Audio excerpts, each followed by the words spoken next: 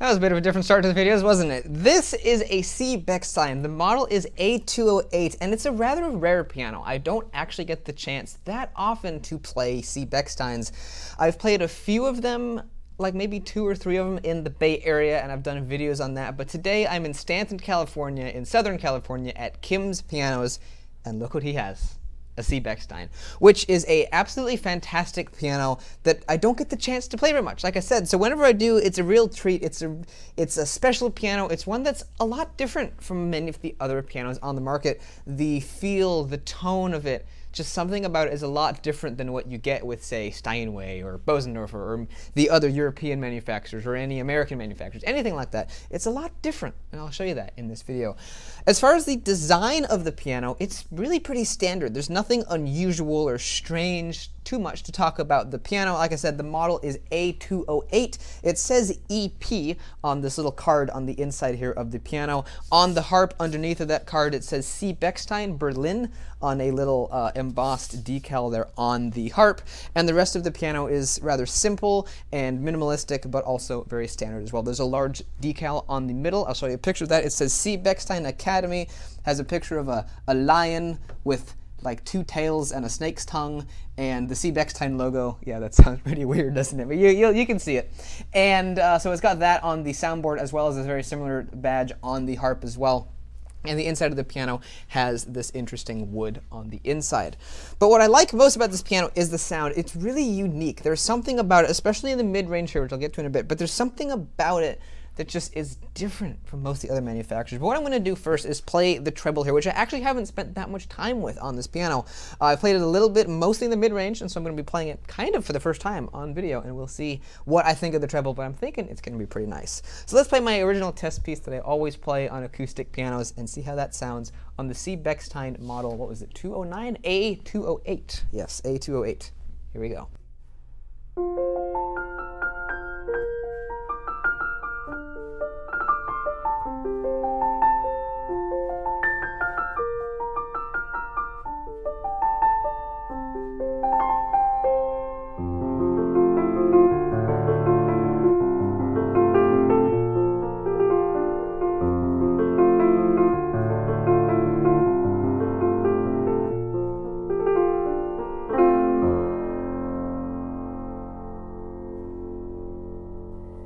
Has a kind of an interesting sound. Like I said, it's a lot different from the other piano manufacturers. It's both rich and also crystalline up here in the treble. It has a certain substance, substance, substance, something like that, something to it that just makes it really interesting.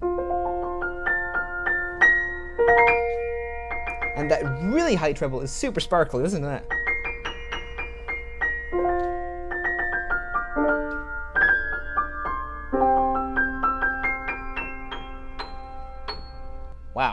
That is a really special sounding treble, and that is really, really amazing. I like that a lot.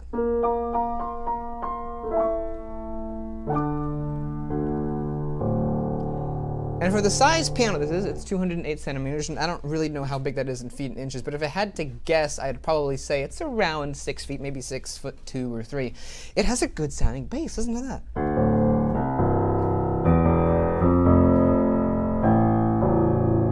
That sounds really, really nice, and I really like that a lot. Let's play something that brings out the warmth and the beautifulness of the mid-range of the treble. And let's play, I mean, the mid-range of the piano. Let's play some Bach and see how that sounds.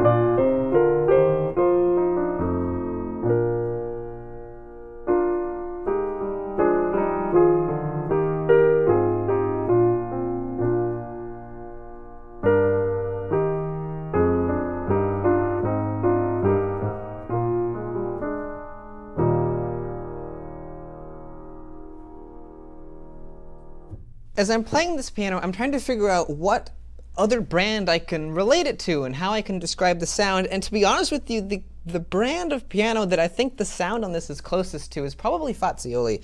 It has a crispness to the sound. It's very clean, but also very rich. It's not clean and uh, thin. You know what I mean? It's it's clean and rich. And one of the things I'm noticing is that like the terminations down here, when you play the note as staccato as possible, it's insanely crisp.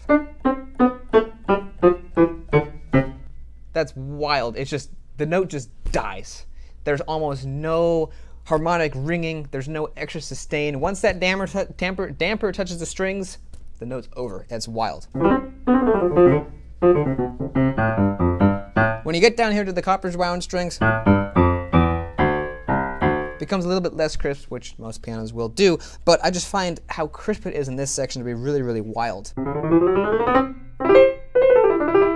Right in here, right in about that section. It's really, really crisp and really interesting, and it just has a really unique sound. So for the final piece I'm going to play on this piano, let's play Clair de Lune by Debussy and see how that sounds on the C. Bechstein A208. I really like this piano a lot, and it's going to be interesting to see how Debussy plays on this piano. The action on it as well, this will be a good test for it, because what I'm noticing on the action is that it's kind of, it's heavy, but it's also quite responsive as well. Uh, it's, it's a lot, I mean, it when you push the notes gently, they go down, but it has a, a firmness that a lot of other manufacturers don't quite have.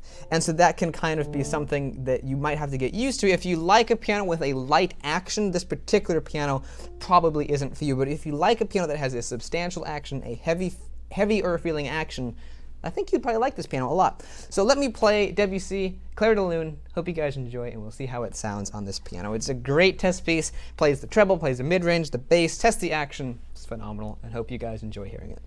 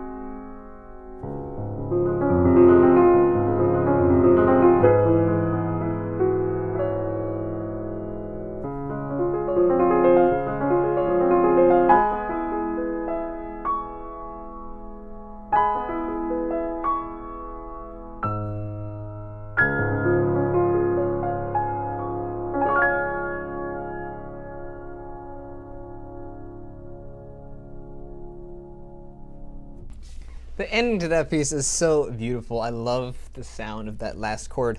But hopefully you guys enjoyed hearing Clair de Lune being played on the C. Bechstein Model A28. A couple of things I'm noticing about the piano is that I find myself pedaling a little bit differently with this piece. I can't exactly explain precisely where and why and how I am, but I feel like, anyway, that I'm pedaling it a little bit differently because this piano has such a crisp sound and doesn't have a massive amount of sympathetic resonance.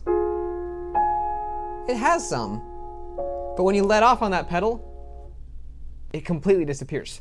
And so I find myself pedaling just a little bit differently and holding it for a bit longer, stuff like that. So I think if you're going from really any other manufacturer, to a. Bechstein, there's going to be a small little bit of a learning curve with the way you play and the way you express yourself with the piano. And another thing I'm noticing, and it could just be me, uh, I could be crazy, but I feel like the pedal and the whole lyre is set back a little bit farther, like maybe an inch or two farther away from the keys because I feel like the damper is really far, the damper pedal is really far away from me, but I'm sitting about where I normally sit on the piano. Like the bench is right about, it was crooked, hope that wasn't bothering you guys.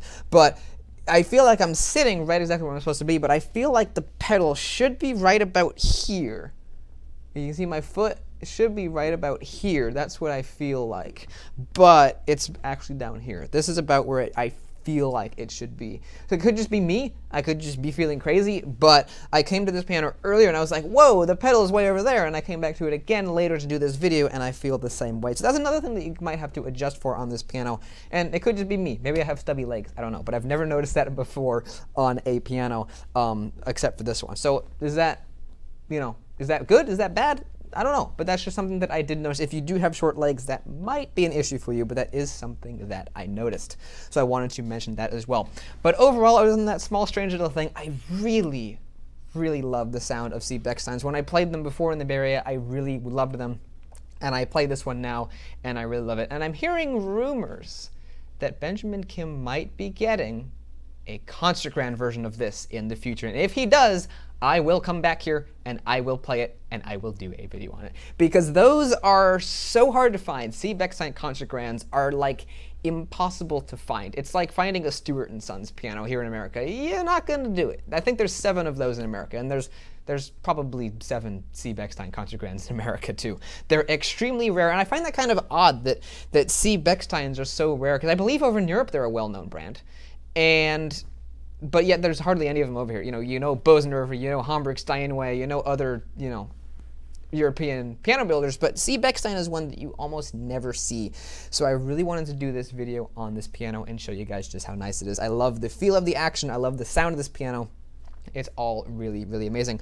Before I go, one thing I wanted to mention is that the feel of the action when I was playing Debussy, I was reminded of the feel, kind of, of the old Baldwin SF10s from like the 70s. Now those also had Renner action. It was not as refined, anywhere near as refined as a modern piano, but they had that same kind of heavy but responsive feeling. And when I was playing this, I, almost, I had flashbacks to practicing when I was 10 years old on my Baldwin SF10 at home. It has that same kind of feel, but it's also very responsive and very, very good as well. It's very easy to play, and I had no difficulties whatsoever playing it. So hopefully you guys enjoyed this video of the C. Bechstein A28. Like I said, really hard to find, and if you're in the Stanton, California area, you should really come by and visit Benjamin Kim. He has an amazing selection of pianos. I've done some videos in the past at his store, and I'm going to be having a bunch of videos now at his store. So if you want, you might want to go check out my channel. And again, if you're in the Stanton area, definitely drop by and say hi. He has an amazing selection of really quality, awesome pianos. So if you want, you go check out my channel, see all those videos. If you want, you can come here and see the pianos in real life. And if you want, you might want to think about subscribing to be informed of all of my future uploads. And if you do that, thank you very much, and I'll see you in the next video. Goodbye.